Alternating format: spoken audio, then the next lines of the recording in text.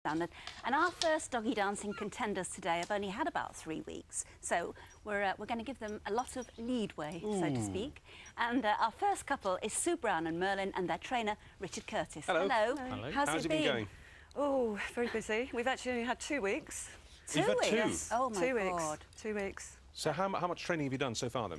In that two Uh, weeks? well, obviously enough for us to do a, a routine. Okay, how's she getting on? He's he's fine. sorry. he um, um, he learns very quickly. He's Yeah. always What got a good he? brain. What- what's his breed? Um, he's he's crossed between a Belgian Shepherd and a Border Collie. Right. Okay. The Belgian Shepherds are the ones like um, um, Wellard on EastEnders. Wellard, yeah. yeah. Well, look, how, just- do you, how do you think they've done?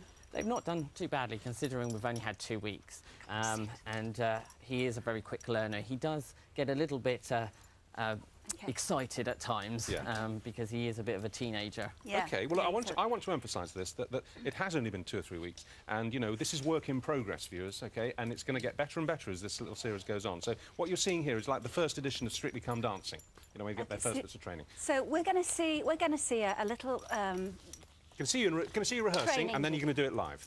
OK? Okay. OK, this is you uh, uh, over the last couple of weeks. I'm Sue, and this is Merlin, and we want to be the dog dancing champions. Get him into a sit through your leg and bring him through. Now you're going to do a figure of eight back through your leg and reward him. Make a big fuss of him.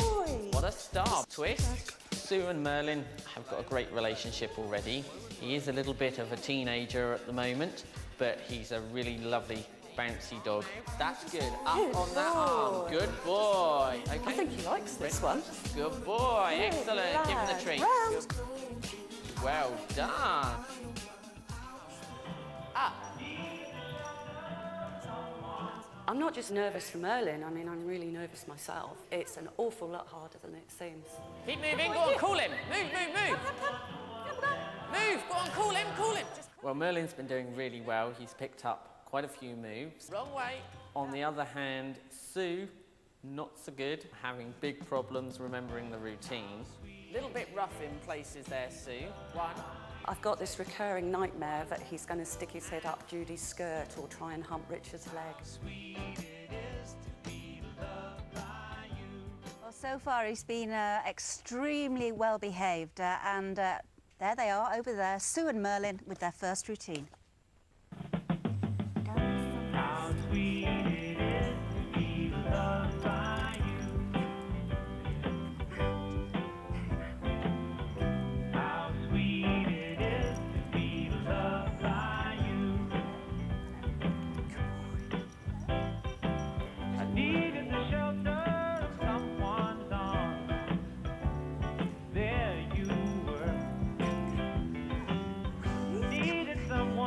How far, trainers, do you think we've got to go? I mean, on a, on a scale of 1 to 100%, where are we at the moment, do you Where think? normally a routine would take us between six months and a year to put together. Oh, really? Um, so, you know, with a few more weeks, we hope to polish it up a lot more. Well, I think you did. I, th I think you both did incredibly well. I mean, two weeks training, two weeks training from scratch, and I mean, they weren't doing anything like this before. It's fantastic. I think we're going to see something smashing here if we, if we keep our patience, keep our nerve. And if, listen, if you want to